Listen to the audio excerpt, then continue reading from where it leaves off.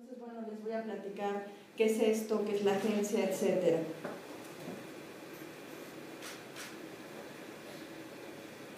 Bueno, no, sé si les dije mi nombre, Blanca Rebollar Trejo, servidora.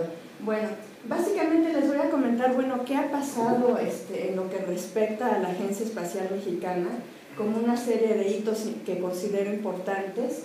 Uno, bueno, que se creó una ley, que, o sea, es un decreto de creación de la Agencia Espacial Mexicana, es, que fue publicado en el Diario Oficial a mediados de 2010. Es algo muy importante para el país porque estamos retrasados, yo diría que hay una brecha este, espacial de más de 50 años con respecto a los otros países que han estado este, pues en temas espaciales. No quiero decir que en México no los tengamos, ya hay muchos esfuerzos desde muchos años atrás, inclusive podríamos pensar que desde los mayas o a lo mejor hasta antes, eh, hay esfuerzos en todo el país, pero faltaba creo yo como un hilo conductor por parte del de gobierno. Bueno, una vez que se crea la ley que crea la Agencia Espacial Mexicana, y perdón la redundancia, se crea la Política Espacial de México, que es un documento que establece las líneas generales y las políticas de México en materia espacial, y de ahí se deriva la, este, el nombramiento del doctor Javier, Javier Mendieta como director, el primer director de la Agencia Espacial Mexicana. En ese proceso concursaron 18 personas, hasta donde tengo yo entendido, fue designada una, y a partir de ese momento se creó, digamos, un grupo. Hay muchos entusiastas en el país, o sea, un grupo que empezó a trabajar, empezamos a trabajar inclusive sin muchos sin recibir sueldo, simplemente por el gusto, por el placer de estar trabajando en estas cosas y como resultado de ese trabajo se presentó el 12 de enero de 2012 este, un documento que se llama Programa Nacional de Actividades Espaciales. Ese documento se presentó el 12 de enero para la aprobación de la Junta de Gobierno. La Junta de Gobierno, digamos que es el órgano, es el órgano, digamos, de de atención a los temas de la Agencia Espacial Mexicana y son quienes los aprueban los proyectos que, que se van a ejecutar.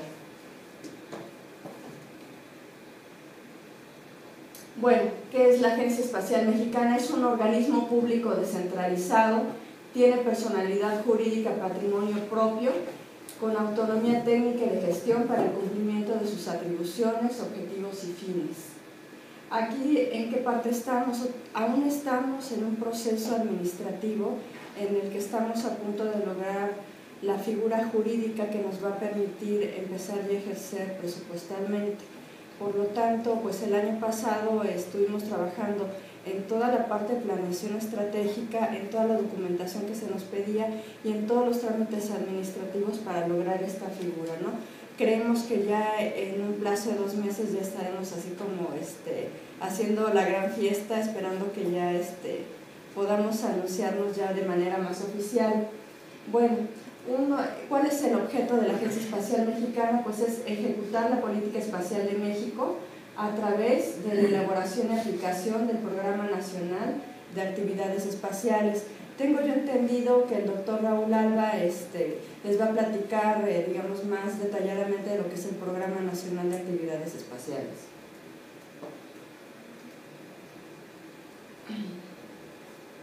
Sin embargo, voy a, a, dar una breve introducción de lo que es el Programa Nacional de Actividades Espaciales porque dentro de él está inserto el proyecto multiinstitucional del que voy a hablar.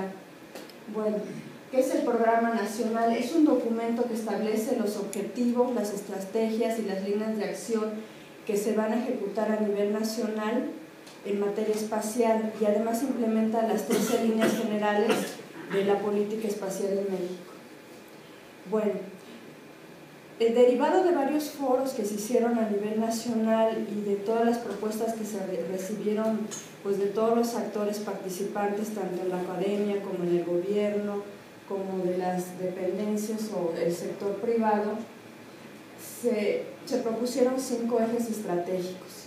Los cinco ejes estratégicos son la formación de capital humano en el campo espacial, el primero, el segundo, lo que tiene que ver con investigación científica y desarrollo tecnológico, la parte que tiene que ver con iniciativa privada, que es un desarrollo este, industrial, comercial, otro no menos importante, todo lo relacionado a la normatividad, a los asuntos internacionales, a la parte legal y a la seguridad en el amplio sentido de la palabra, es decir, no pensando la seguridad como las Fuerzas Armadas, sino la seguridad como seguridad alimentaria, seguridad económica, este, etc.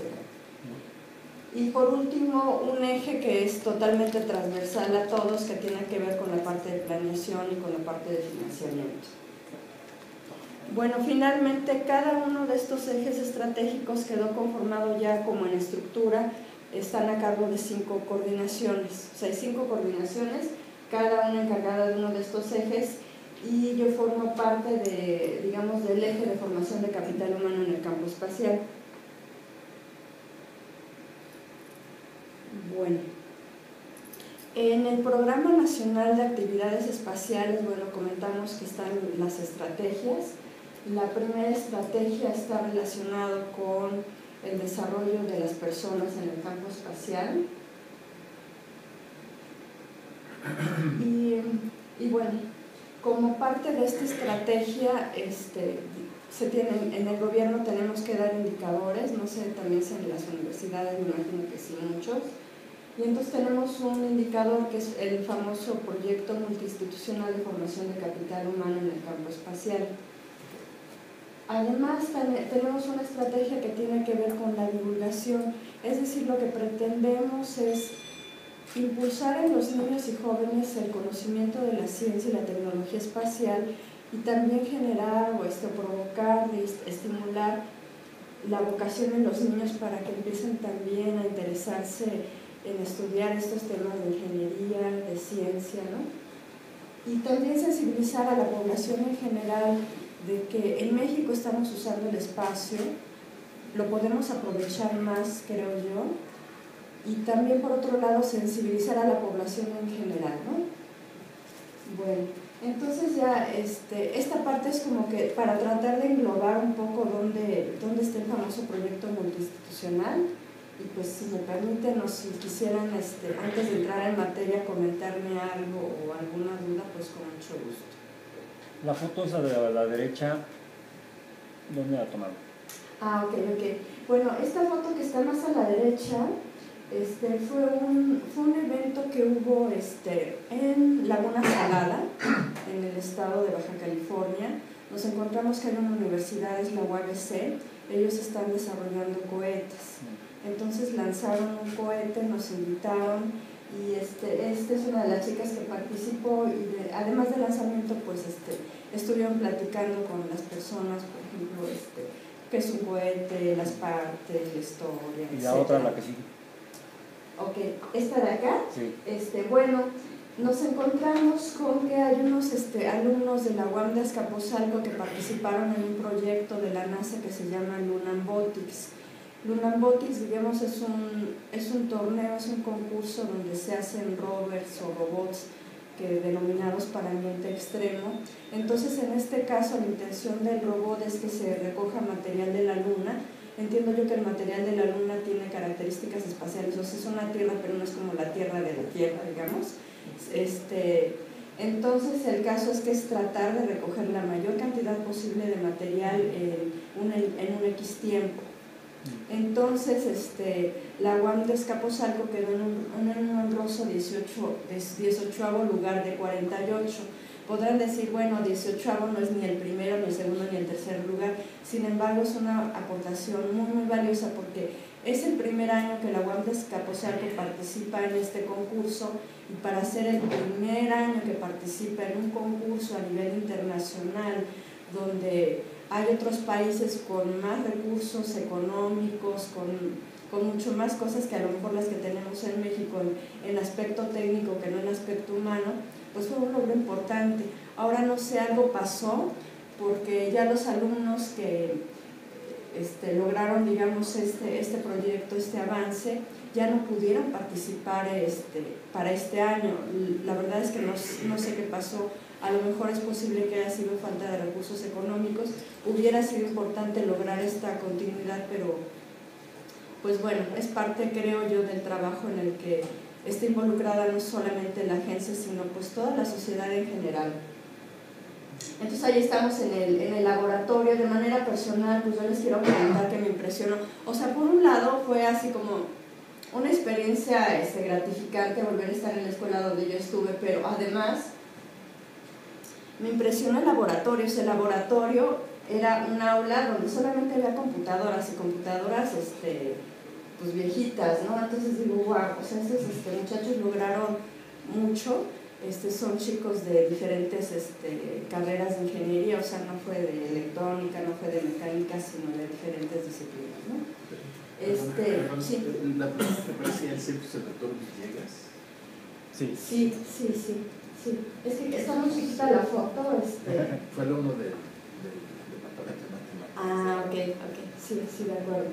Este, la otra foto, bueno, este, estuvimos en el estado de San Luis Potosí en el Congreso de la Somecita entonces ahí hicimos un ejercicio muy interesante porque yo cuando recién ingresé pues así como que decía, este, no sabemos qué está pasando en el país en materia espacial, entonces parecía como un gran rompecabezas, entonces ahí armamos un rompecabezas como tratando, o sea, como parte de un ejercicio de diagnóstico, ¿no? De cómo estamos en, este, en el país. Sí. Tengo una pregunta, yo he leído que Querétaro creo que estaban ya firmado un convenio con alguna universidad ¿no? para desarrollar un centro de investigación espacial. Ok, eh, estamos en pláticas con el gobierno de Querétaro efectivamente para firmar un convenio. Ellos están muy, muy interesados este, en el capital humano. Entonces ellos quieren desarrollar especialistas para detonar que el Estado sea un, este, un Estado espacial, por así llamarlo, pero todavía no se firma un convenio en específico. Por parte de la UNAM, ellos tienen un centro que se llama CAT, honestamente ahorita no, no, este, no me acuerdo qué significa el CAT, pero va a ser un centro de desarrollo tecnológico espacial muy importante por parte de la UNAM. Está en Juriquilla.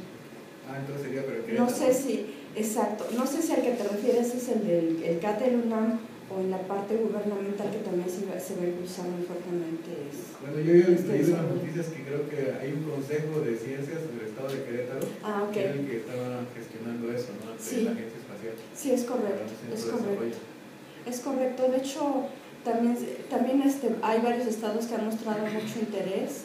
Ya se firmó con el estado de Jalisco, se ha firmado, déjame ver con otro estado, con Puebla con Jalisco, con Puebla, yo creo que pronto estaremos firmando algún convenio con el estado de Querétaro y también con Yucatán.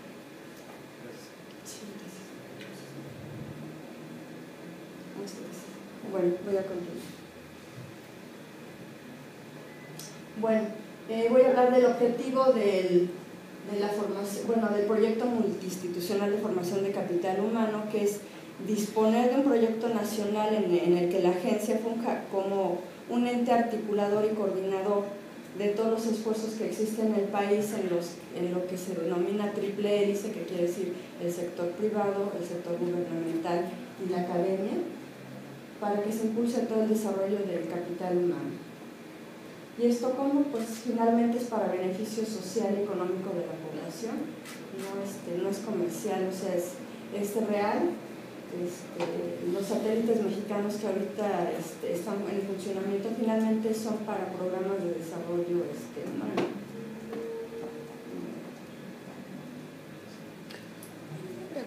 Sí, ¿cómo, ¿cómo es que las secretarías, cómo las diferentes secretarías van a apoyar a la agencia? Ahorita voy para allá, sí.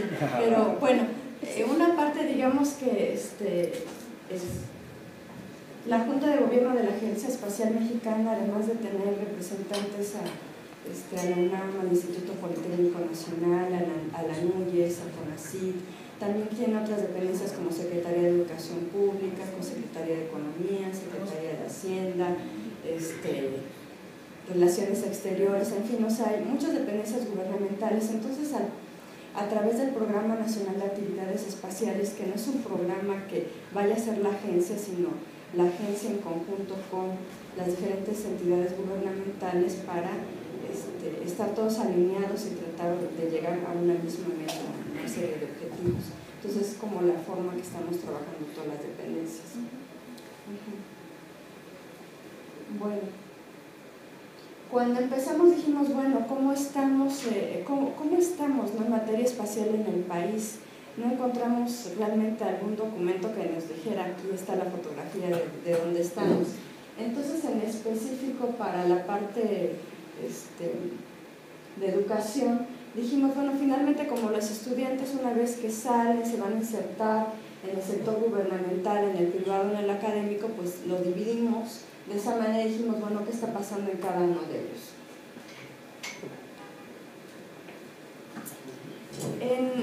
El documento que no te lo he enviado, ¿verdad? No, sí, el proyecto multiinstitucional. No, el que me facilitó este eh, Carlos fue el borrador del Plan Nacional. Ok, de acuerdo. Bueno, este, Donde el Programa Nacional, el PNAE, el PENAE, sí, sí, sí, ok. Bueno, este, no voy a, o sea, es un documento muy largo, pero este, estoy solamente extrayendo los, los puntos más importantes. Uno de ellos que la industria aeroespacial en México es predominantemente aeronáutico, quiere decir que está más enfocado a, a lo aeronáutico. Y las principales ramas de, este, de la ingeniería que, este, en el que están insertados pues son las que se mencionan aquí. Luego, encontramos este, cinco licenciaturas en todo el país, este, que están bueno, en, en, este, en Baja California, en Chihuahua, en el Distrito Federal. Encontramos también que hay este, estos niveles de posgrados en el país. Todos ellos, aunque son aeroespaciales, este, y quizás soy reit- reiterativa, es más en la parte aeronáutica y eso atendiendo que actualmente hay 18 estados en la República que están teniendo polos de desarrollo, hay muchas compañías este, aeroespaciales, son alrededor de 300, están generando más de 33 mil empleos en todo el país. Y pensamos que esto se va a detonar todavía más.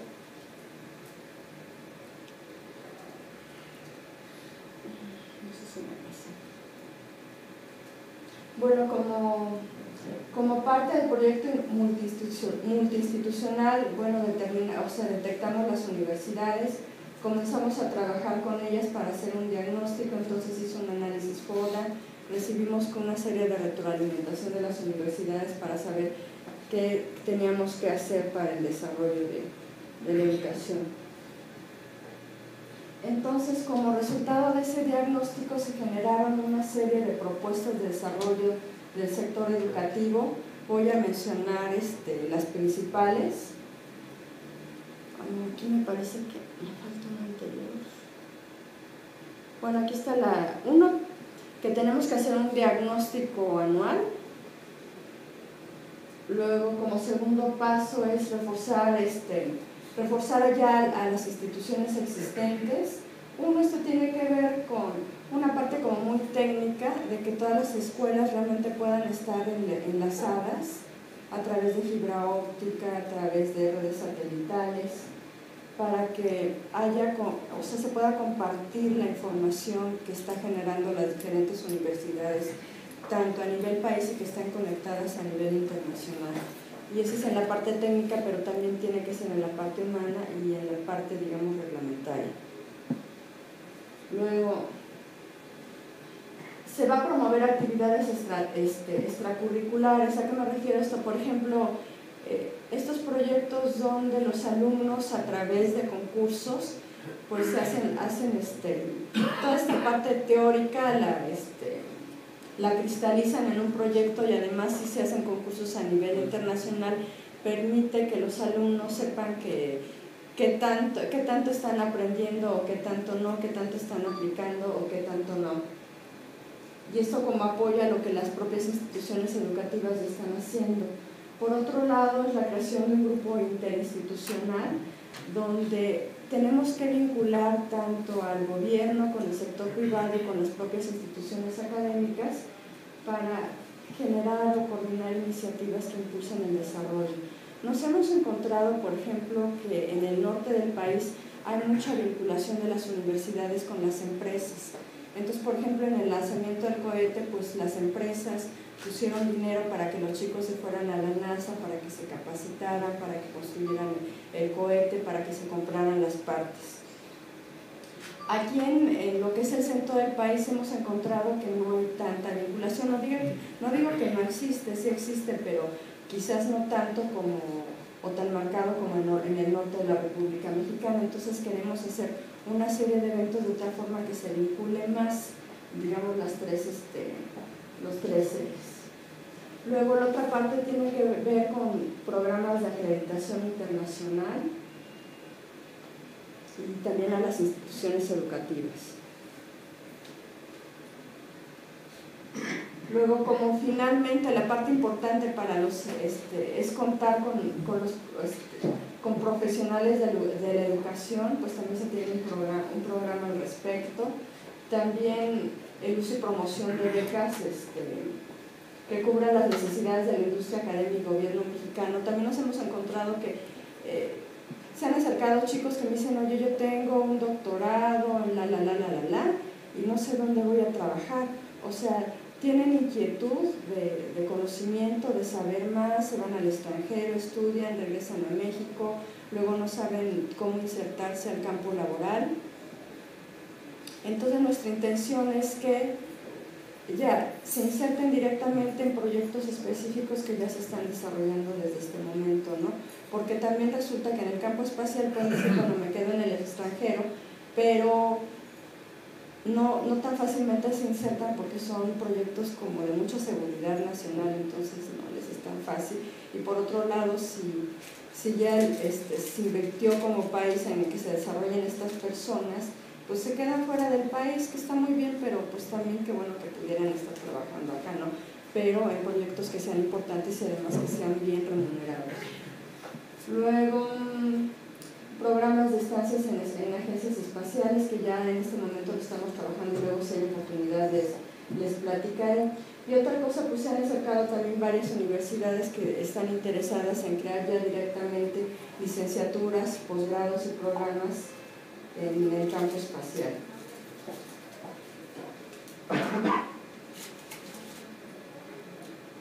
Y ya casi termino para no aburrirnos tanto. Este, en la parte de actividades extracurriculares hemos encontrado básicamente en el campo espacial apoyar cuatro, que es el diseño y construcción de pico y nanosatélites con diferentes tipos de cargas útiles y diseñados para ambientes extremos la construcción y lanzamiento de cohetes, experimentos con globos científicos, los robots espaciales y el software aeroespacial. Entonces hemos encontrado que en estos cinco temas se está desarrollando mucho en el país y pues requiere mucho apoyo, entonces estamos haciendo lo necesario para conseguir los recursos económicos para apoyar a todos estos proyectos. Aquí bueno se ve el, lanzamiento del cohete que fue en Laguna Salvada, aquí está este, el, el, este, el rover de la Azcapotzalco, acá tenemos un satélite de, de, la UNAM, son proyectos que, que en este momento existen. Pues bueno, de mi parte es todo, muchas gracias por su atención y pues este, cualquier cosa, pues bueno, aquí está mi correo electrónico.